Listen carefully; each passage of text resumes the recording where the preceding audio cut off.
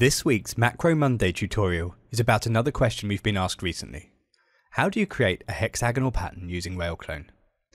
In the past, our answer would have involved teaching you how to adjust a segment's padding values manually, but recent versions of RailClone include a macro that does all of the heavy lifting for you.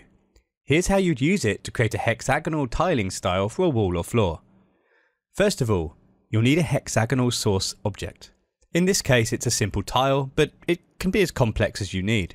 You'll also need to create a closed spline for the area you'd like to fill with hexagons. Once you've got that, you can create a new RailClone object. Go to the Modify panel and open the Style Editor. Create a new A2S generator. Go to its properties and enable Extend XY Size to Area. With this mode enabled, RailClone will automatically fill a closed clipping spline with geometry. While you're here, select Auto Align X to XY. This mode will orientate the array automatically to match the clipping spline. In that way you can easily apply this style to a vertical spline if you need to. Create a spline node, pick the closed spline from the scene, and then wire it to the generator's clipping spline input. Next, create a segment node and use it to pick your hexagonal geometry from the scene. Wire the node to the default input.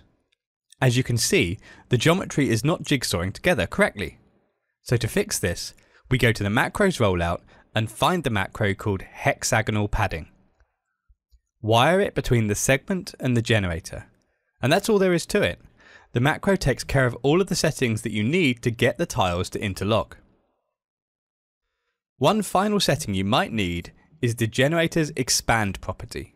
This setting slightly enlarges the array to remove gaps left by irregular segments around the perimeter of the clipping area.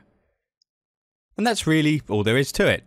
In the demo image shown at the beginning of this tutorial, I'd also added some gradient probability macros to get the colour change effect. And if you'd like to learn more about this macro, we have a separate dedicated quick tip tutorial, or you can just check out the exercise files. Remember, if you've got a question you'd like to see explained in a short tutorial, just let us know in the forum or the comments below this video. Thanks and stay tuned for more coming soon.